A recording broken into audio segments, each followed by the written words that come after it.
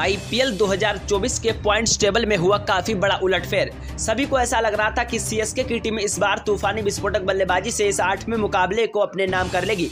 लेकिन लखनऊ की टीम ने सीएसके के गेंदबाज और कप्तान को खदेड़ने में कोई कसर नहीं छोड़ी।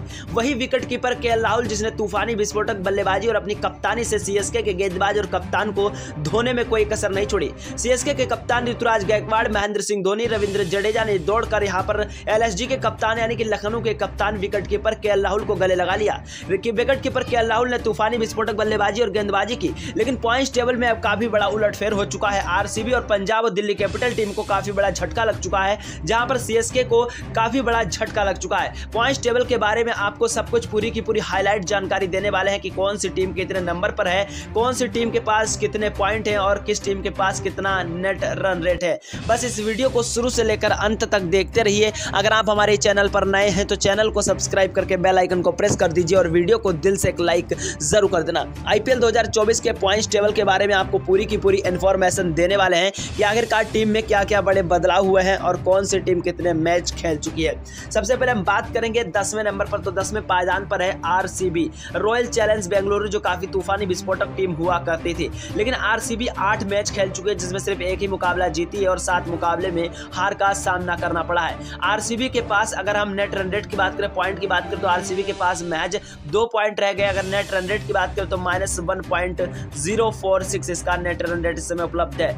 नौ नंबर पर अगर हम बात करें तो नौ नंबर पर है पीवी यानी कि पंजाब की टीम जो काफ़ी ज़्यादा बेहतरीन टीम है, लेकिन इसने आठ मैच खेले हैं। सिर्फ़ दो ही मैच जीती और छह मुकाबले में हार का सामना करना पड़ा है। इसके पास मैच चार पॉइंट है। नेट रन रेट की बात करें तो minus zero point two nine two इसका नेट रन रेट इस समय उपलब्ध है। अब हम बात करेंगे आठवें नंबर पर तो आठवें नंबर पर है दिल्ली कैपिटल, यानी कि डीसी ऋषभ पंत की टीम जो काफ़ी ज़्यादा बेहतर टीम हुआ करती थी लेकिन दिल्ली कैपिटल ने अभी तक आठ मैच खेले हैं, तीन मुकाबले अपने नाम किए और चार पाँच मुकाबलों में हार का सामना करना पड़ा है। इनके पास छह पॉइंट उपलब्ध है, नेट रन रेट की बात करें तो minus zero point four seven seven इसका नेट रन रेट इस समय उपलब्ध है। अब हम बात करेंगे सातवें नंबर पर तो सातवें नंबर पर है यमाई मुंबई इंडियंस की टीम, जो काफ़ी ज़्यादा बेहतर विस्फोटक टीम है, लेकिन हार्दिक पांड्या की छपरी भरी बेवकूफ़ी भरी कप्तानी में लगातार ये पाँच मैच हार चुके हैं। अगर मुंबई इंडियंस के कप्तान रोहित शर्मा होते तो आज रोहित शर्मा एक भी मुकाबला अपने दम पर हारने नहीं देते। क्योंकि हार्दिक पांड्या को तजुर्बा उतना नहीं है जितना रोहित शर्मा को है। हार्दिक पांड्या की गलतियों की वजह से यहाँ पर बार बार जो है मुंबई इंडियंस का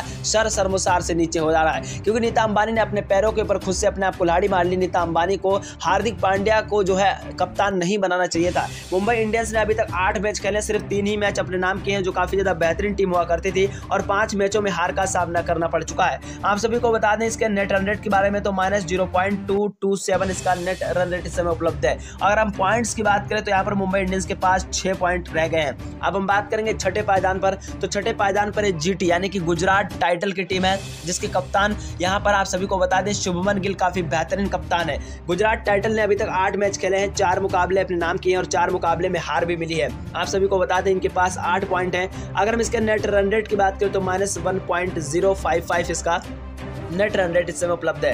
अब हम बात करेंगे पाँचवें नंबर पर तो पाँचवें नंबर पर टीम आ चुकी है सी एस के जो दूसरे तीसरे पर थी, वो आज पाँचवें पायदान पर है। क्योंकि सी एस के ने यहाँ पर जो है लगातार कई मैच हार चुकी है। सी एस के को लखनऊ की टीम ने यहाँ पर खदेड़ दिया। कल के दिन आप सभी को बता दें कि यहाँ पर सी एस के ने अभी तक आठ मैच खेले हैं, चार मुकाबले जीती और चार मुकाबले में हार मिली है। अगर हम इसके पॉइंट्स की बात करें तो उनके पास आठ पॉइंट है नेट रन रेट की बात करें तो plus zero point four one five इसका नेट रन रेट इसमें उपलब्ध है। अब चौथे नंबर पर जो टीम आ गिरी है, वो है एलएसजी लखनऊ विकेट कीपर के राहुल की टीम जो काफ़ी ज़्यादा बेहतरीन और विस्फोटक टीम है। आप सभी को बता दें कि एलएसजी ने तूफानी विस्फोटक बल्लेबाजी से यहाँ पर सीएसके के कप्तान को खदेड़ दिया और आठ मैच खेले। अभी तक पाँच मैच अपने नाम किए और तीन ही मुकाबले में हार मिली है। अगर हम इसके पॉइंट की बात करें उनके पास दस पॉइंट है नेट रन रेट की बात करें तो plus zero point one four eight इसका नेट रन रेट इस समय उपलब्ध है। नंबर तीन पर अगर हम बात करें, नंबर तीन पर है एस आर एच यानी कि काफ़ी तूफानी विस्फोटक टीम जिसमें ऑस्ट्रेलिया के कई खिलाड़ी दिग्गज मौजूद हैं। ट्रेविस हेड और दिग्गज से दिग्गज खिलाड़ी मौजूद हैं जिसने अभी तक सात मैच खेले हैं, पाँच मुकाबले अपने नाम किए और दो में हार मिली है। इनके पास दस पॉइंट है नेट रन की बात करें तो plus zero point nine one four इसका नेट रन इस समय उपलब्ध है। दो नंबर अगर हम बात करें तो दो नंबर पर है के के आर यानी कि श्रेयस अय्यर की टीम दो नंबर पे जहाँ पर इसने सात मैच खेले हैं, पाँच मुकाबले अपने नाम किए हैं। दो मुकाबले में सिर्फ़ हार मिली है, इनके पास दस पॉइंट है।